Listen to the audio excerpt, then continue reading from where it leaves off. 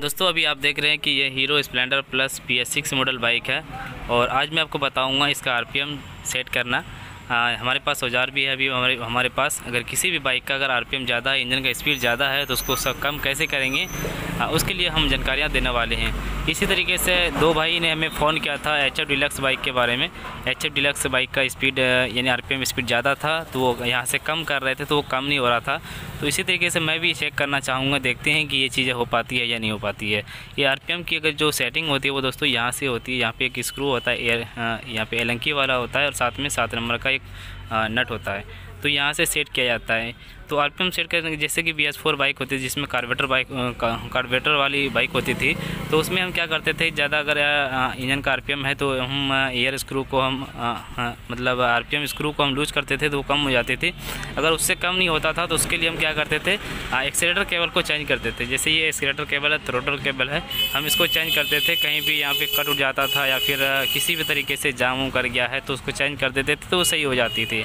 लेकिन अभी फ़िलहाल देखिए कि ये सारा, ये ये जो है आ, मतलब थ्रोटल केबल भी सही है। ये फ्री है बिल्कुल इतना हज है।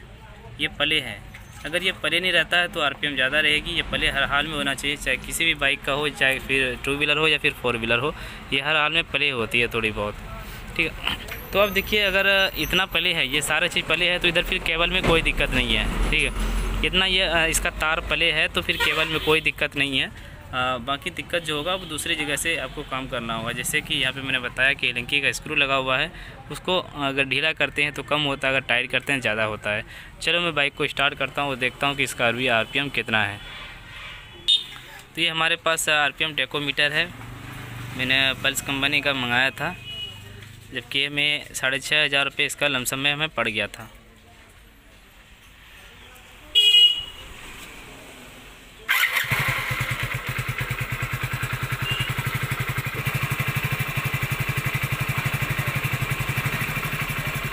तो अभी इतना आरपीएम है, ठीक है? तो मैं इसे कम करूँगा। देखो ऑटोमेटिक ये कम भी हो जाता है। तो बी एस सिक्स जो गाड़ी है ना दोस्तों, जिस तरीके से हम बी एस फोर बाइक में देखते थे कार्बोरेटर वाले बाइक देखते थे, जो एक चाल रहती थी उस तरह का इसमें नहीं होता है। कभी चाल ज़्यादा होता है कभी कम होता है तो ऐसी जो प्रॉब्लम आती है वो चीज़ें तो हम नहीं बता पाएँगे क्योंकि सारे चीज़ हम इसमें ये सारे चीज़ जो इसमें लगाया गया वो इलेक्ट्रॉनिक सिस्टम लगाया गया है वो किसी भी तरीके से जल्दी से हम टे, टेस्ट नहीं कर पाएँगे। बाकी बात अगर आपको लगे कि ज़्यादा आरपीएम है ऐसे टेकोमीटर बराबर आरपीएम नहीं बताता है क्योंकि वो तो इसका उसका कैच करके वो बताता है ठीक है? अगर आपको लगे कि ज़्यादा है तो आप एक एलंकी लीजिए ये एलंकी लीजिए और साथ में एक सात नंबर का चाबी लीजिए। तो सात नंबर के चाबी से पहले आपको यहाँ पे एक इस नट को लूज करना होगा। इस नट को पहले लूज करना होगा, देखिए। तो इसे मैंने लूज किया।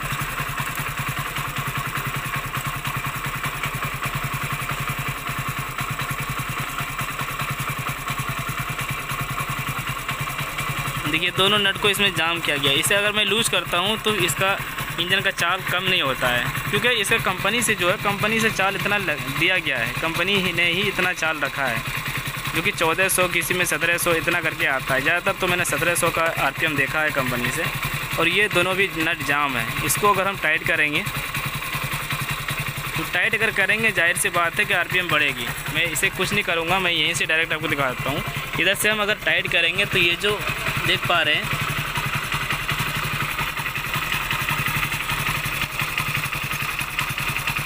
देखिए, आप यहाँ पर देखिए, जैसे हम इसको टाइट करेंगे तो ये थोड़ी बहुत, ये थ्रोटल ऊपर की ओर जाएगी। ये थ्रोटल इस तरीके से घूमेगी तो इंजन का चाल बढ़ जाएगा। उसी प्रकार देखिए, मैं अगर इसे खींचता हूँ तो इंजन का चाल बढ़ जाता है। तो यहाँ से अगर हम नट को टाइट करेंगे, चाल बढ़ जाएगी और लूज करेंगे तो कम कम ना चाहिए, लेकिन इससे ज़्यादा अगर आप कम करना चाहेंगे तो नहीं कम होगा, क्योंकि कंपनी से इतना कंपनी से ही इतना रखा गया है। जिस तरीके से हम उसमें क्या करते थे, पूरा लूज करते थे तो गाड़ी बंद हो जाती थी, उस तरह का इसमें नहीं होगा। अगर पूरा खुल भी जाए, लूज कर कर देते हैं तो ये खुल, बंद नहीं होगी, गाड़ी चलती रहेगी, क्योंकि इतना चाल कंपनी से दिया गया है। तो बस हमें इतना ही बताना था कि वीडियो कैसा लगा कमेंट करके बताएँ। पसंद है तो लाइक करें शेयर करें, चैनल को सब्सक्राइब करें।